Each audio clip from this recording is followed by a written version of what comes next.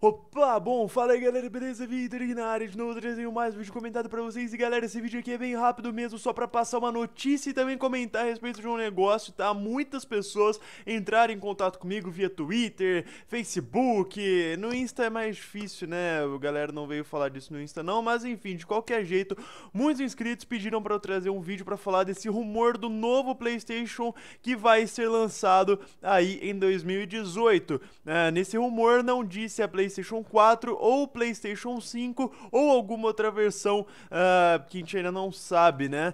Só sei que né, o famoso Wall Street Journal, né, que foi responsável e tal por é, não anunciar, mas tipo, por começar aqueles rumores na época de um novo PlayStation 4 que seria o Pro, né? E também o Slim, uh, segundo os analistas aí, né? O analista de mercado, né? A agência analista de mercado, a Macquarie Capital Securities, acho que é assim que se pronuncia, né? Ela previu e também acertou no lançamento dos dois novos videogames aí da Sony, que seria o Slim e o Play 4 Pro. Então, assim, já tem uma certa relevância, né? Eu não tô trazendo esse vídeo para passar mais um analista que vem falar de mercado, não sei o que.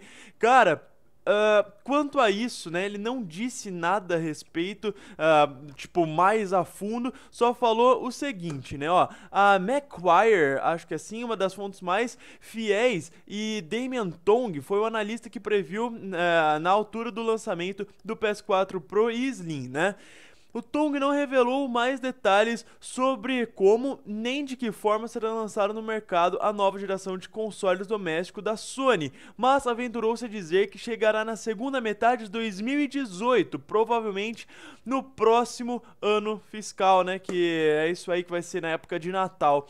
Galera, o que eu acho disso, né? Eu acho isso bem plausível, mas eu acho que o que vai dizer se vai ter um novo console ou não Cara, eu acho que a resposta está nesse ano de 2017. Se o Xbox, o Scorpio, né, o Project Scorpio for bom e destruir, desbancar a Sony, é com certeza que a Sony vai tentar fazer alguma coisa para buscar mercado, tá certo? Nós não sabemos o mercado, a gente não sabe como que o, que o mercado vai reagir depois do Project Scorpio. Se de repente o Project Scorpio for o maior lançamento do mundo, a, e a Microsoft tem esse poder na mão, se ela lançar o Project Scorpio a um preço competitivo, com coisa assim que faça valer muito a pena, sabe? Fazer a comunidade jogar um console mais poderoso, né? E ela tem esse poder, ela consegue se ela quiser, né? Enfim, Cara, o mercado vai balançar muito e com certeza desbanca a Sony quebra as pernas da Sony com esse Project Scorpio. Mas tem outro lado. Se o Project Scorpio não for tão bem e não abalar o mercado da Sony, ela não tem com que se preocupar tanto. Então, aí nós temos do, dois lados, né, duas vertentes. O Project Scorpio quebrando a perna da Sony ou o Project Scorpio não afetando tanto a Sony e a Sony não fazendo nada para buscar esse mercado. Se o Project Scorpio for muito bom, com certeza a Sony vai lançar e deve anunciar algo contra o projeto da Microsoft, que deve ser, no caso, né, no caso da Sony, um novo videogame. Então, cara, é, a resposta tá esse ano, sabe? Se a gente vai ter um novo videogame ou não. Uh, quanto ao tempo, se você for, se você for ver o PlayStation 4 original foi lançado em 2013, então nós temos aí 2013, 2014, 2015, 2016, 2017, 2018, cinco anos. Para uma nova geração, cinco anos é pouco, tá certo? Tendo em vista aí as gerações passadas, né? Mas, né, é a tendência de mercado, tudo agindo mais rápido e tudo mais.